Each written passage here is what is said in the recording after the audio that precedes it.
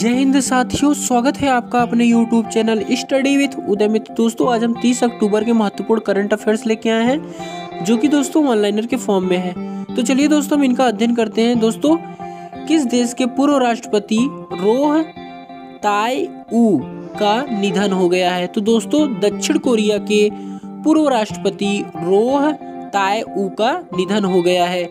दोस्तों, दक्षिण कोरिया की राजधानी है सियोल। क्या है? सियोल है। और दोस्तों, दक्षिण कोरिया द्वारा एक मोबाइल बनाया जाता है, जो कि दोस्तों सैमसंग बनाया जाता है।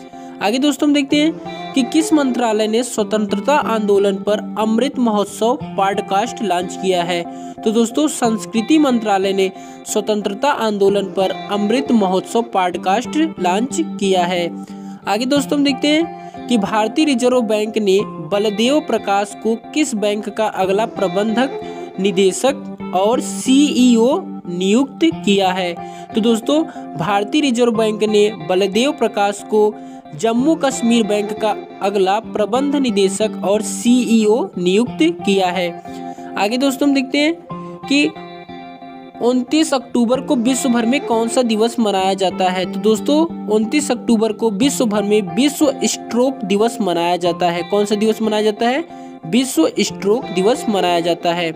आगे दोस्तों हम देखते हैं कि भारत और किस देश के बीच नई दिल्ली में अपनी पहली रणनीतिक वार्ता आयोजित की गई है।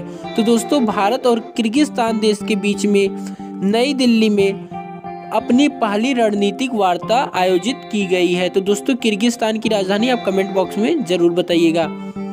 आगे दोस्तों हम देखते हैं कि केंद्र सरकार ने अगले महीने से कोरोना वायरस के खिलाफ कौन सा मेगा टीकाकरण अभियान शुरू करने की घोषणा की है? तो दोस्तों, केंद्र सरकार ने अगले महीने से कोरोना वायरस के खिलाफ हर घर दुस्तक अभियान चलाने का अभियान चलाया है। आगे दोस्तों देखते हैं कि भारतीय सेना की सामरिक बल कमान ने किस बैलिस्टिक मिसाइल का पहला सफल उपयोगकर्ता परीक्षण किया है। तो दोस्तों भारतीय सेना की सामरिक बल कमान ने अग्नि फाइव बैलिस्टिक मिसाइल का पहला सफल उपयोगकर्ता परीक्षण किया है।